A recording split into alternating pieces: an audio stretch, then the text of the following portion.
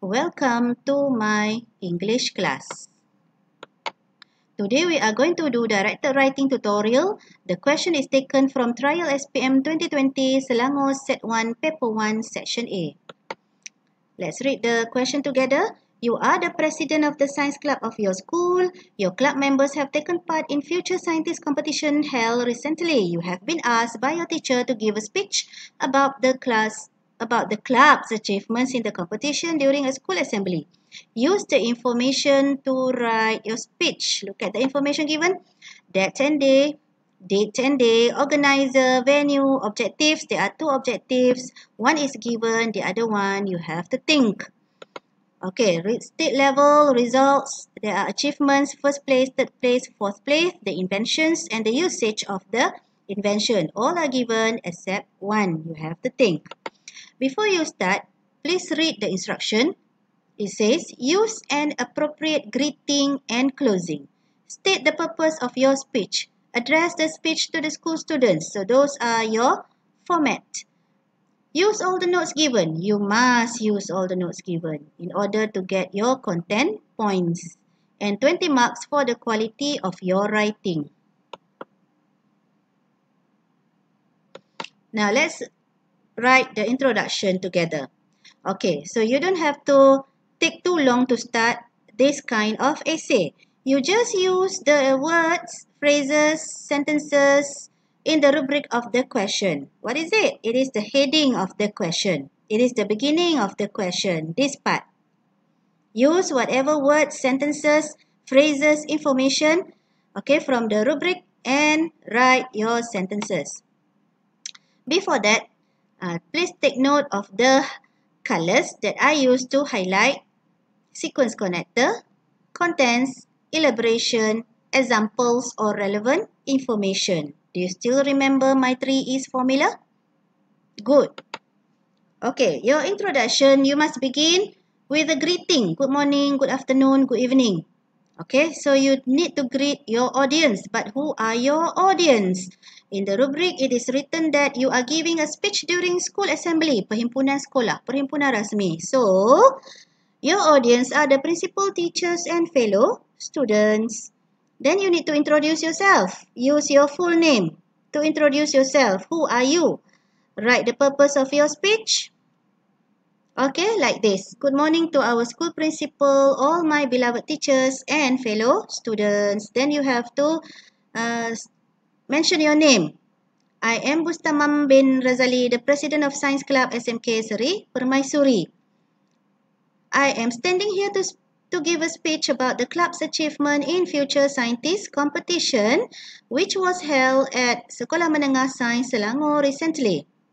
Three members of Science Club SMK Seri Permaisuri took part in the competition. Okay, so you are done with the introduction.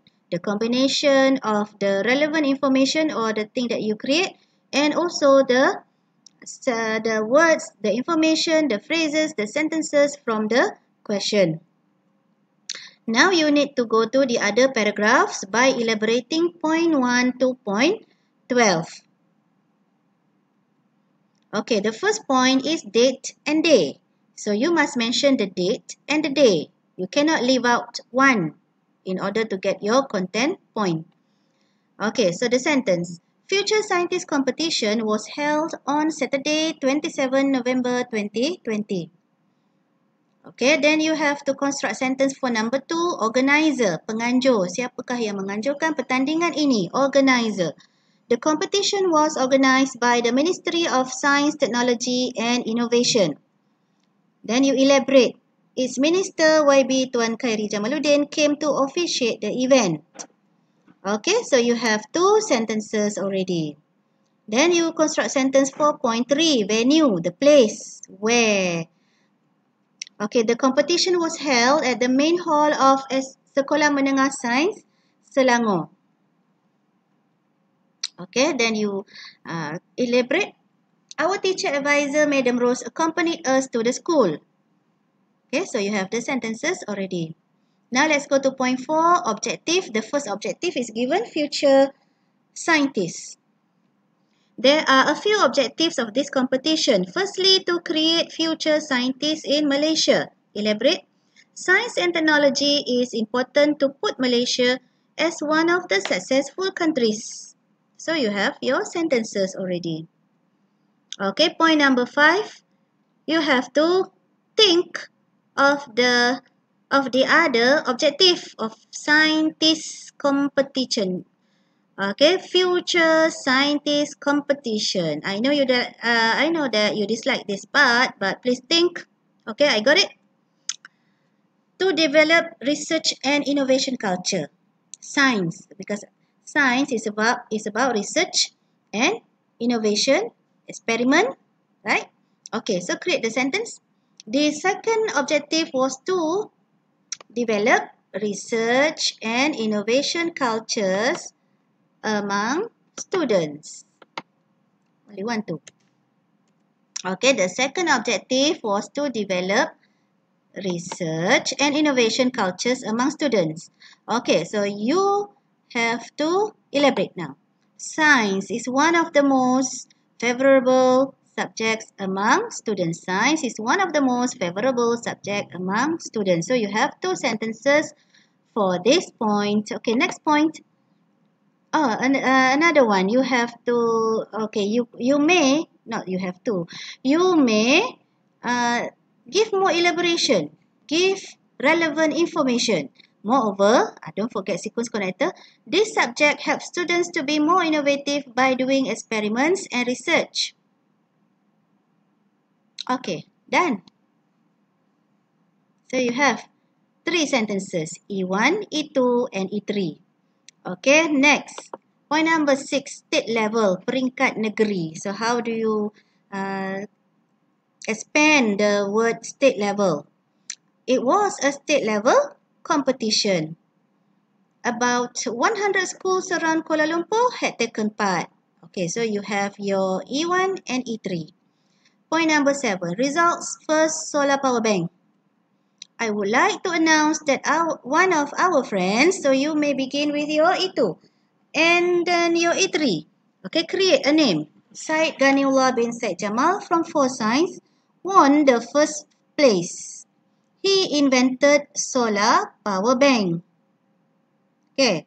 So that is how you write your sentences. You don't be too rigid. Okay. You don't uh, tell me that we mu you must write E1 first. No. You can begin your sentence with your E2 or E3. Okay. Number 8. Point number 8. Use your own idea.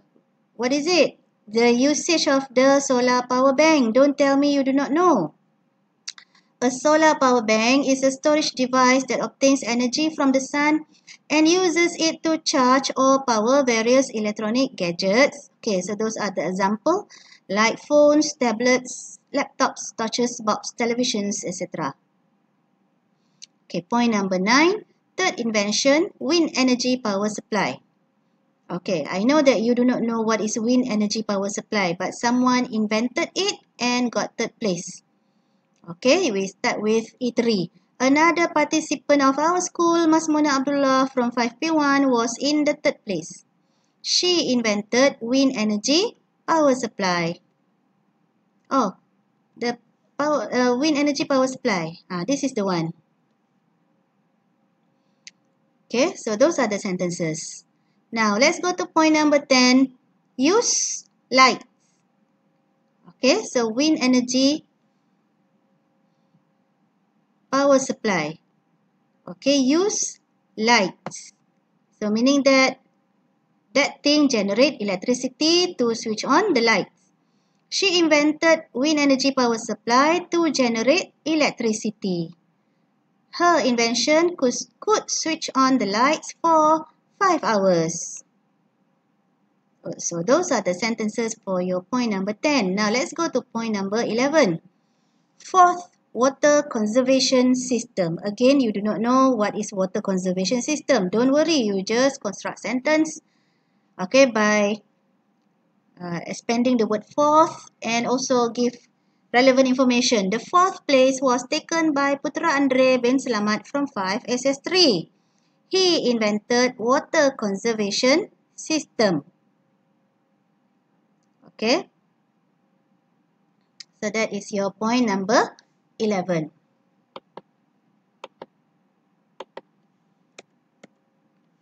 Okay, so you have two sentences already.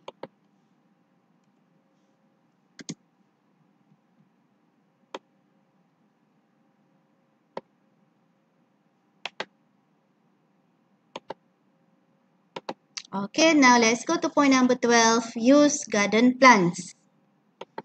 Okay, water conservation is system is used to water garden plants. Putra Andre has given his invention to our school to be used at our Taman Fertigasi which was behind our Surau As Shakirin. Okay, so that is the sentence. Uh, those are the sentences for point number 12. Hey, we are done. Okay, now it's time to end the speech. So how to end your speech? So you may begin with this sentence.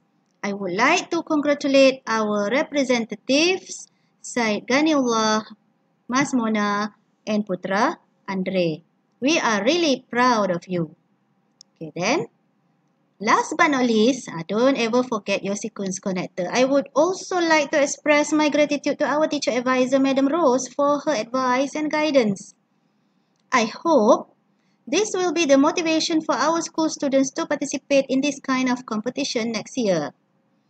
Thank you. Remember the first, uh, at the beginning uh, of this tutorial, I said you must end your speech by saying thank you. Okay, so that is your conclusion. Okay, so now your work is to arrange the sentences from point 1 to point 12 into paragraphs. Please remember that introduction and conclusion are separate paragraphs. Alright, thank you for watching. Bye for now. My students, once you are done arranging the sentences into paragraphs, in your composition exercise book, please take the picture of the writing and send to my personal WhatsApp. Can you please do that? Okay, thank you so much.